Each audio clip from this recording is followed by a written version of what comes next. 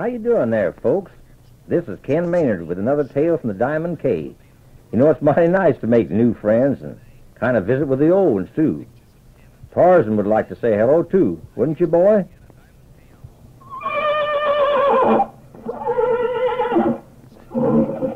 You know, that's his way of inviting you to visit with us for the next 15 minutes.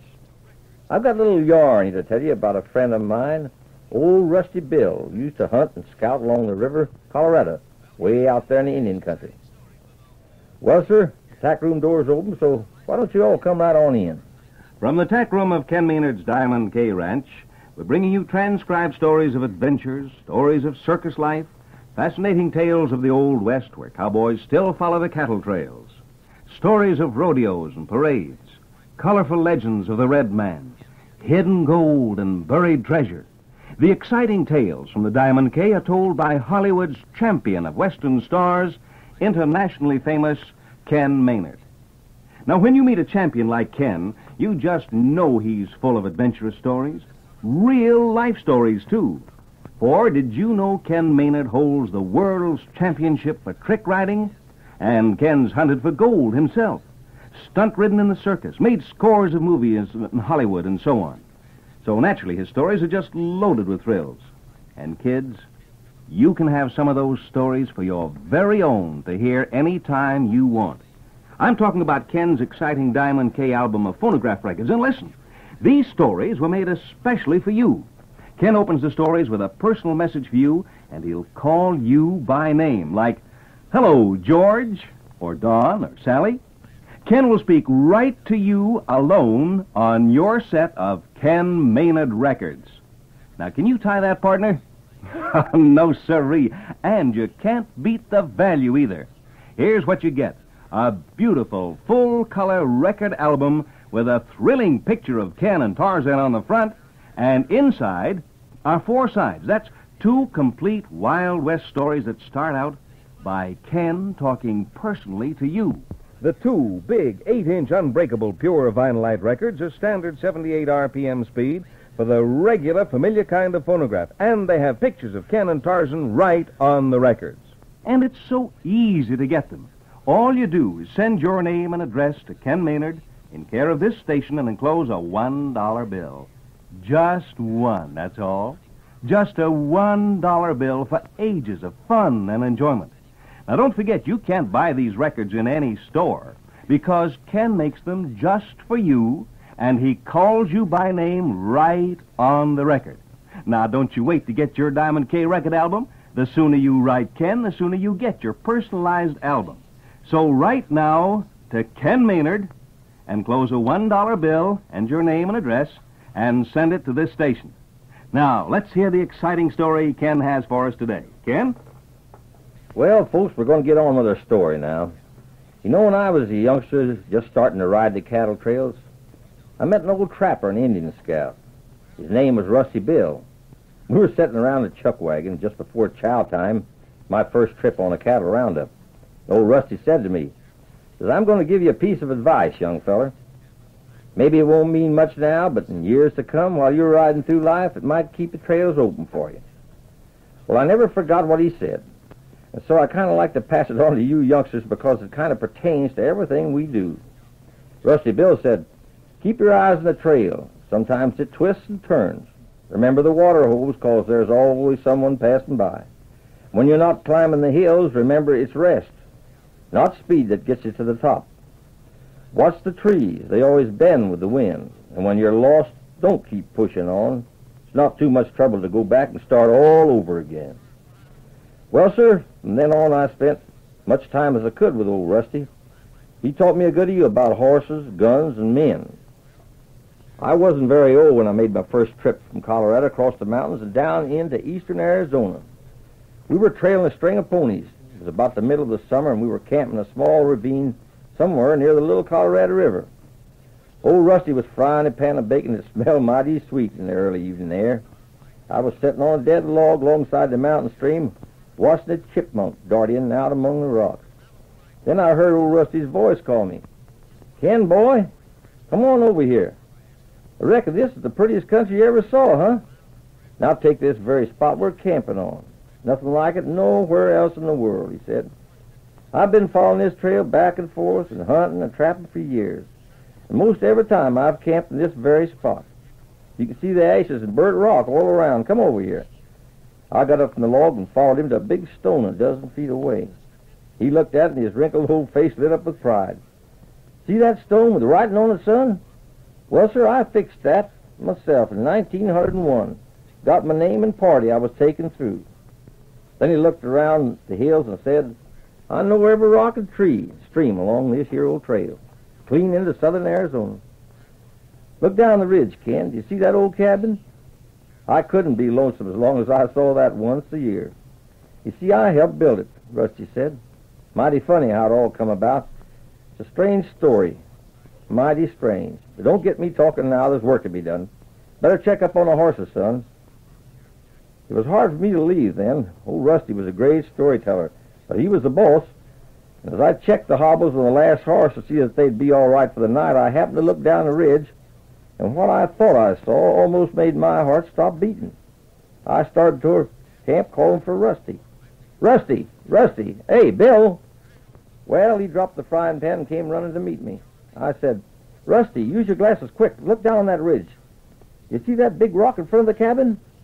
Old Rusty looked at me in a kind of a disgusted way. Then he grunted. Of course I see it. I've been seeing it for a good many years. What is there about that rock that got you so all fired excited? I pointed again at the rock, and my voice must have quivered as I said, Well, there's a girl, an, an Indian girl, dressed in white buckskin standing on that rock. Is she real, or am I seeing things?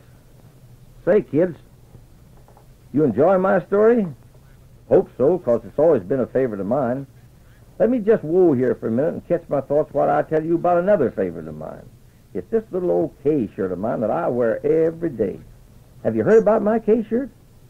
Well, in case you haven't, it's kind of like a T-shirt, but made especially for me in soft cotton, about the color of the desert sand. And right smack in front is a big Diamond K brand from my ranch in Flaming Red. And Tarzan and me are on the K shirt too, saying howdy. Well, I kind of like the colors and the way it fits and everything. And I thought you might like one too. Some of the kids around the neighborhood where I live asked me to get them some, and I did. Now, they're made buckaroo size, of course, in two, four, six, eight, ten, and twelve. And if you figure you'd like a K shirt for yourself like I wear when I'm practicing stunt riding and tricks around my ranch, well, you can have one. Let me know your name and address, and on account of the fellow that makes a man a millionaire, he says, would you enclose a one dollar bill so he can make the shirt up special for you? Sounds kind of simple like. So if you want a real Western K shirt like mine, send your name and address and a dollar to this station. Fellow made me pay a whole lot more than that for the ones I wore, so it sounds like a mighty big value to me. Now I'll quit gabbing and get on with my story. Well, sir, as Rusty Bill raised his glasses to look where I told him there was an Indian girl standing on the rock, he looked at me kind of strange like for a minute. Then he focused on the spot and sort of a quiver ran up and down his back. Then he finally turned to me and he said, The Shoshones must be going north again. He didn't talk for a while after that. Just started puttering around the campfire, doing little things and trying to prove to me that there was nothing unusual about an Indian girl standing on a rock as straight and still as a statue. Finally, a motion for me to put a couple of chunks of pine on the fire. Said he'd like to see it blaze up a little so it would make shadows among the trees. Then he said, Now, Ken, can you bring that old stump of wood over here so I can lean my back against it? I knew what was coming. Old Rusty Bill decided it was time to do a little talking. About the Indian girl, he said. Her name was Painted Flower, and she was the daughter of Chief Whitehorse, leader of the Shoshone band. Rusty Bill went on to tell me that Painted Flower fell in love with Jim Rankin, gentleman soldier and scout who rode the hills when the first white man moved in. This fellow Jim had been all over and was a great one to fall in love with any woman as long as she was beautiful, and Painted Flower was sure beautiful. The big chief liked Jim so much that he allowed them to marry, and they had an Indian wedding on the banks of the River Colorado. Rusty pointed towards the trail and said he'd come through there in the summer with a band of ponies when Jim and his squaw Painted Flower were building the cabin, and I'd just seen him down the ridge. Well, Rusty stayed with them and helped Jim build the cabin. One day Jim said to Rusty, Why don't you marry one of these Indian gals and settle down? There's room for another cabin. Old Rusty Bill snorted. No, siree. He was hitting the trail pronto. Then Rusty Bill told me he looked at Jim and his voice was dead serious. Two bloods like this will never mix. Well, Jim laughed at that and said Rusty was crazy. and When he came this way again next year, he would find a hearty welcome in the cabin in the hills. Rusty pushed on, and spent the winter out in the desert. He didn't do so well, and as soon as the trails broke, he started back across the mountain. It was about two months before he made it back to where we were now camping. When he rode in, he said the sun had just gone down. He looked across the ridge, and there stood Painted Flower on that rock. Rusty said he sure was mighty glad to get back and waved to Painted Flower, but he guessed she didn't see him. So he took the rope of the lead mule and started down the trail. He called her as he went, but still she didn't answer and looked kind of funny standing there so still. So he started to run down the trail, calling, but still she didn't answer. When he got there, he was plumb out of breath. Where's Jim? he said. She didn't move, and a puzzled look came over her face. Where's Jim? he repeated. Her body stiffened and her black eyes were expressionless. He go.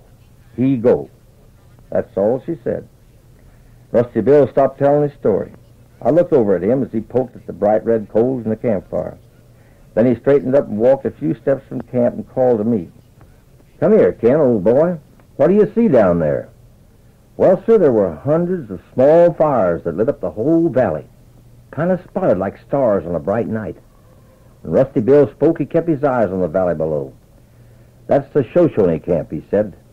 Once every year at about this same time of evening, you could see Painted Flower standing on that rock looking for Jim. But he never came back. You see, son, like I always said, two bloods like that will never, never mix. There's a story, folks. The day Jim Rankin disappeared, no white man was ever allowed in the valley, and believe me, they didn't dare go. And long after the Shoshones was driven from their land, this Indian legend was remembered, and many who disbelieved lost their lives mysteriously in the Valley of Painted Flower. Gosh, Ken, that was some story. I could listen to that one again and again. And speaking of stories, kids, wouldn't you like to be able to hear some of Ken's famous stories whenever you wanted? Well, you can with Ken Maynard's exciting Diamond K album of Wild West records. You can play them again and again for yourself and for your friends. They're terrific stories. Tales of cowboys and Indians, lost gold and desperados. Stories just packed full of excitement and, best of all, these Ken Maynard records are personalized, made just for you and you alone with a message from Ken. When you put the needle down on the record, the first thing you'll hear is, Hello, Teddy. Say it, Ken. Hello, Teddy. Hello, Barbara. Or whatever your name is. Ken will say hello to you personally and tell you some of his favorite stories. Remember, you get an album with four sides two records of standard 78 RPM speed.